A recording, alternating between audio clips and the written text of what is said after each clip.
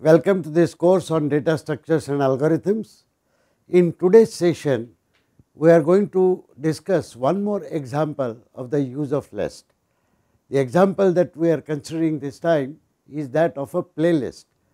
All of you are aware of the playlist where you want to play music by selecting certain songs and putting them in the playlist and then playing them. Here is a typical media player so, the media player will have this kind of interface where you will have various buttons uh, move back, move forward, full forward, full back, pause, play, pause. Then there will be a playlist that will be here and these are the songs which are played. You have options of sorting those songs either on the title or on duration. So, this is how typically a media player playlist looks like and this is how we operate the, the playlist. Let us look at the actual operations that a user would like to perform using media player. First consider that the playlist would have a song ID, a song title, the singer's name and the duration and you have a list of such songs available to you. It is from this list that you will be choosing certain songs to be played or certain songs to be inserted in the playlist and then play.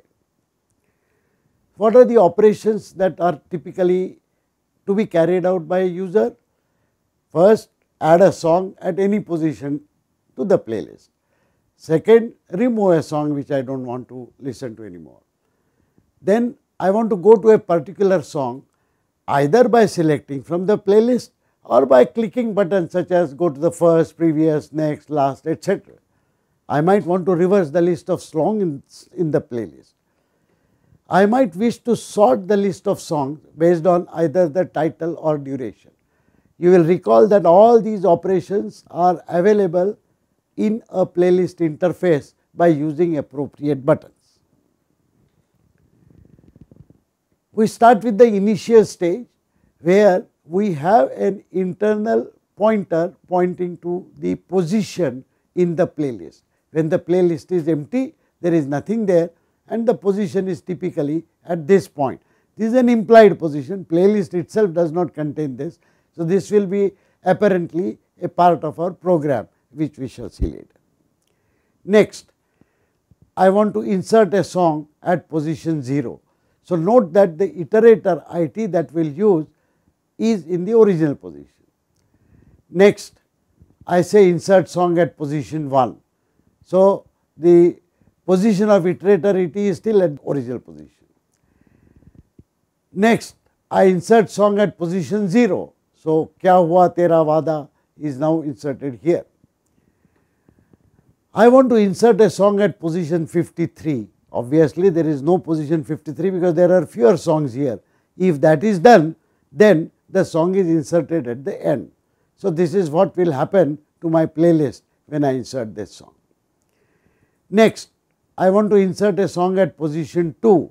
So, note that the position of iterator IT is the original position with respect to that 0, 1, 2 this is the position where I am inserting the song. Now, I press this button it goes to last the iterator IT now points to Kabhi Khushi Kabhi Gham which was the last song. I might press this previous button in which case the iterator IT will go to the previous song. I might completely go back to the first position in which case the iterator IT will show here kya hua tera vaad. If I move one step next it will go to the next song.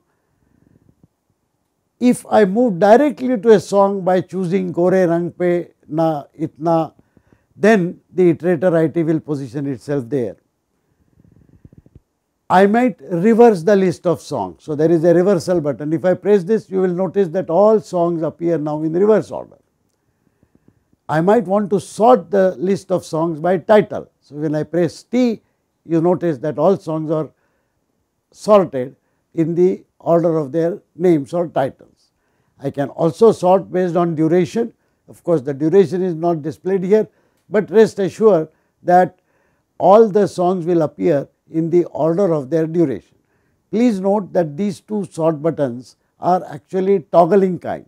That means, if I press this twice, it will sort in the reverse order of names or reverse order of duration etc. I might want to remove a particular song from playlist. So, when I remove this song, this song will be deleted and the rest of the list will be compacted. So, this is how after removal the list will look like. In this session, we have seen the basic operations that user will perform on any playlist of songs. It includes inserting songs, rearranging them, playing any one that I wish and so on. In the next session, we shall see how this playlist can be implemented in C++ using the list structure. Thank you.